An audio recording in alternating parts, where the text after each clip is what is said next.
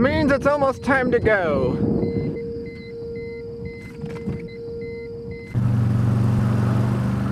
By the time I arrived, the storm had put down one tornado and traveled 100 miles across the great state of South Dakota. And somehow, I knew that things were just getting started.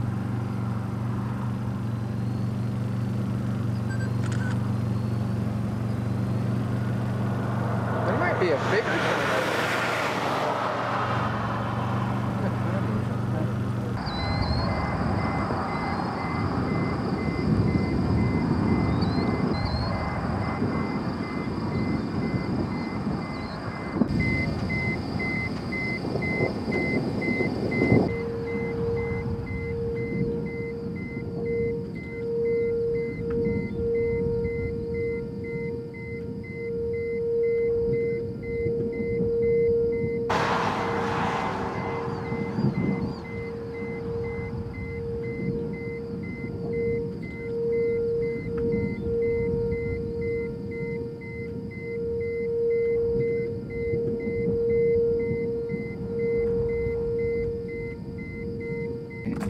Oh, another tornado going.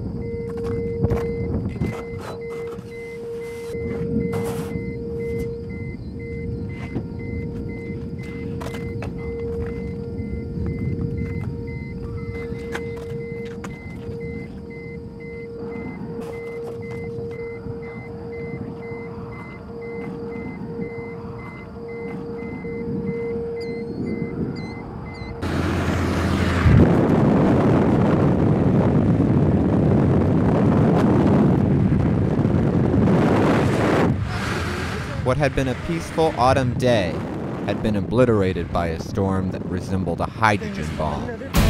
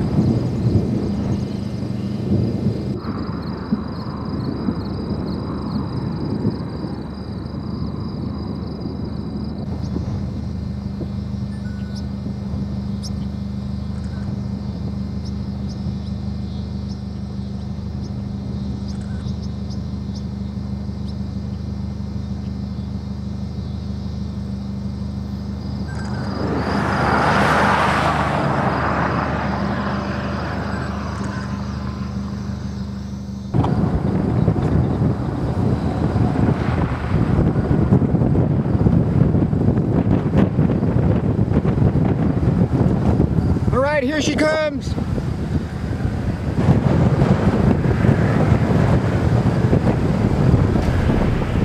I think it's time to go.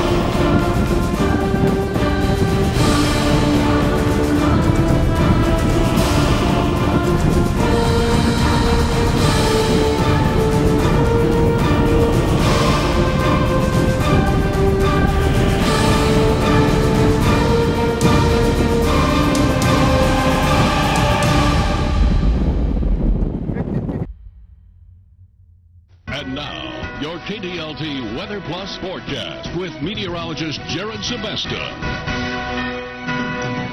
Kind of a dreary day out there, but it is definitely preferable to last night. Yes, uh, kind of the calm after the storm today, and much cooler and drier, a lot more comfortable uh, air mass in place. It was just so hot and sticky here the last couple of days, and that kind of uh, put the fuel in the fire uh, in place, I guess you could say, for those showers and storms. And here's a live look from our KDLT Skycam again. Not a lot going on, kind of gloomy. Uh, a few scattered light showers out there. I'll talk more about that in just a second, but I want to show you some video uh, from a storm chaser named Scott Olson, uh, who shot some very impressive video last night. This is around eastern Hand County, western Beadle County, around the Wolsey, Wessington area. again, some very impressive uh, shots of this tornado, no doubt about that. And these are uh, ones between the Miller and also the Huron vicinity. Now, just quickly a recap of what happened last night. We had two major supercell thunderstorms which produced tornadoes.